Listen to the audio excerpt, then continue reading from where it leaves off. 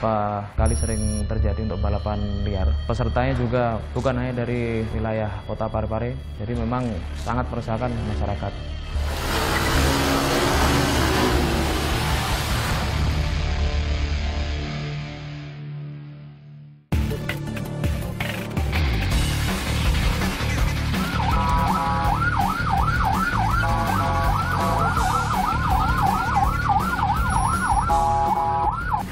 Perhitungan panjang ini 86 ini mobile komandan nanti kami tembus di mati rotasi untuk mengarah ke Jungjung ada beberapa titik yang memang dilakukan aksi balapan liar jadi kami antisipasi kami juga dapat informasi bahwa balapan liar ini dilakukan di jam-jam tengah malam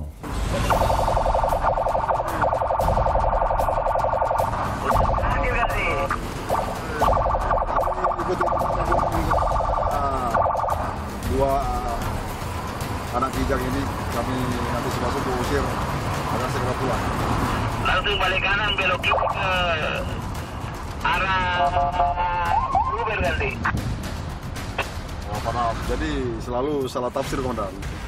Jadi begitu dilihatnya kami balik, dikiranya sudah tidak kembali, ternyata muncul bapak ujung satu komandan.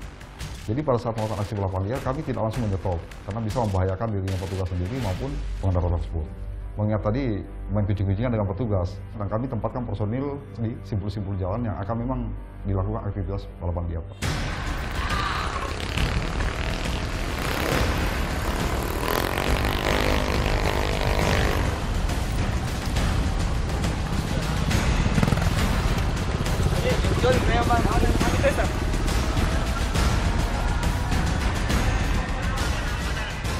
Jadi kami bukan hanya melakukan penindakan, namun melakukan pencegahan.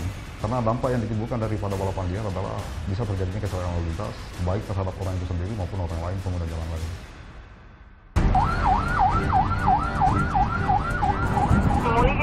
jadi ada informasi ada perkelahian. Di Pelita Makassau dengan ini.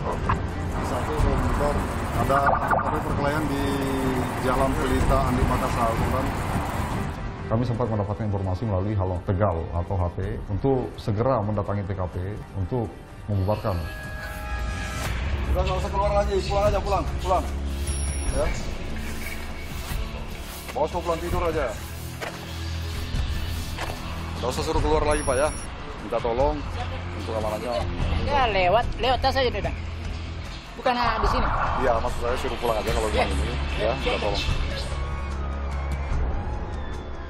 Kami tetap rangkul dan minta supaya masyarakat juga ikut membantu dalam hal menciptakan kondisi kamsel picar lantas di wilayah hukum Parepare.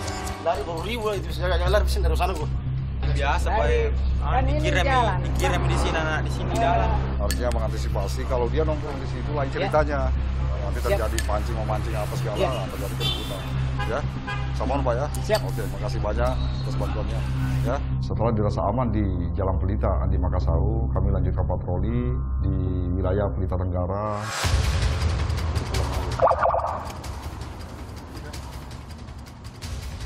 Hei, pulang, pulang, pulang.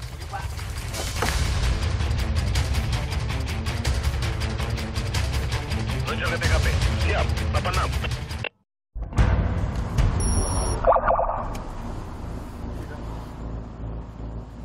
Hei, pulang, pulang, pulang.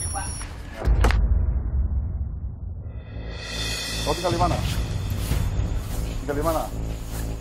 Hah? Tinggal di mana? Siapa yang punya rumah ini? Hah? Ah, berarti bukan rumahmu. Sudah kau pulang sana? Ini motor siapa? Siapa? Kamu naik apa tadi ke sini? Jalan kaki pak, di sini dah rumahku. Hah? Dan kami melakukan pemeriksaan di situ, di mana dia berkumpul anak-anak tersebut, bisa berdampak ke tawuran. di mana sudah minum hmm? Hei, tanya kau sudah minum Di mana apa sudah minum belum pak. Hah? sama siapa Pak? Berapa orang pak lima orang. Hah? Lima orang. tahu Enggak pak. Bawa minuman. Enggak ada orang pak.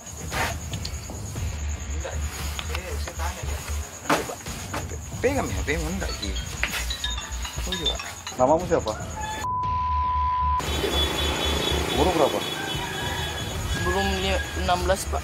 Tanggal bulan tujuh Pi, Masih baru- sekolah? Iya pak. Orang tuamu tahu minum? Iya. Orang tuamu tahu minum? Enggak pak. Hah? Ayo kami antar kau pulang, ya. Saya bawa ke rumahmu. Yang saya sayangkan di sini adalah peran serta orang tua, di mana anak tersebut masih di bawah umur, kok tidak ada pengawasan. Kau tinggal di mana? Tinggal di mana? Kami tidak buat Tinggal di mana? di sini. Di sini mana? Di sini pak di anu tinggal pak di baru pak. Baru. Saya kenal yang punya rumah ini. Iya pak. Nah sekarang kalau kamu tinggal di sini, siapa nama yang punya rumah ini? Ya saya tanya dia, bukan kamu. tinggal, siapa ya? Aku tinggal di batu pak. Hah? Tinggal di batu. Ini yang punya rumah. Kenal kayak ini? Nah, kau bilang tinggal di sini. Tinggal di batu pak. Mana motormu? Kamu naik ke sini naik apa? Ke sini. Sama teman tadi pak. Sama teman. Ngapain kan? Sama temanmu. Mana temanmu yang lain? Enggak tahu ke mana semua pak. Loh, bagaimana ceritanya kau sama-sama temanmu dari baru kau ditinggal di sini? Baru kau ngaku ini keluargamu. Sekarang yang punya rumah ibu ini. Hah? Nah, sementara ibu ini tidak kenal kita. Kita kau ikut sana, kotor di sana. Nanti kami antar pulang. Ayo, naik, naik. Mengingat usianya sangat muda, di jam-jam tersebut masih berkelihatan, apalagi sampai melakukan aktivitas pesta miras. Sebagai polisi dan sebagai orang tua, kami tetap membawa anak tersebut supaya tidak terpengaruh lebih hal-hal yang lebih parah lagi. Rumah kita, tolong jangan lagi ada anak kumpul di sini untuk minum, ya. Nanti ada apa-apanya kasihan yang punya rumah. Iya itu, kakek nggak bilang ke apa jadi itu ribu-ribu jadi turun kak dibawa. Jadi kalau perlu tutup pagarnya, ya. Ini motor siapa? Kita tahu. Ini motornya temannya nak. Ya. Iya. Daripada nanti ada hal-hal yang tidak diinginkan, yang kena yang punya rumah juga nanti dipanggil. Jadi mending kalau ada orang tunggu apa kumpul-kumpul anak-anak di sini, usir. Ya suruh pulang, ya. Anak tersebut dibawa ke kantor polisi bukan untuk diapa-apain, tapi kami akan bina. Setelah itu nanti kami panggil orang tuanya untuk ke depannya tidak seperti itu lagi. Berapa bersaudara? Dua pak. Dua. Anak berapa kamu? Anak satu. Hah? Anak pertama Anak pertama. Bagaimana? Adikmu kelas berapa? belum sekolah. Belum sekolah. Kira-kira adikmu nanti contohi kau? Mau? Enggak pak. Laki-laki perempuan adikmu? Pak. Laki-laki juga? Haram halal itu minuman? Haram? Eh, sudah tahu. Kenapa kau buat? Kenapa kau minum? Yang jelas dari kepolisian dalam ini Polres Parepare sangat menyayangkan hal yang seperti itu. Mengingat usianya yang sangat muda, ya bisa mempengaruhi sekolahnya, termasuk masa depannya. Orang tuamu sudah tidur nih, jam segini. Tidur. Tapi enggak apa-apa, Ji. Kalau saya kesebangan orang tuamu, saya panggil ke sini. Nah? Hah? Oke? Pak. Jangan. Pak. Ya biar, enggak apa-apa. Panggil ke sini orang tuamu. Jangan kau takut. Ya? Bisa kau percaya saya atau tidak? Bisa. eh, ekstra mengawasi anak-anak mereka terutama yang sudah beranjak remaja jadi mulai dari pulang sekolah hingga malam memang harus dikontrol dengan baik jangan sampai mengarah ke hal-hal negatif balapan liar tersebut maupun kenakalan remaja yang lain narkoba maupun tawuran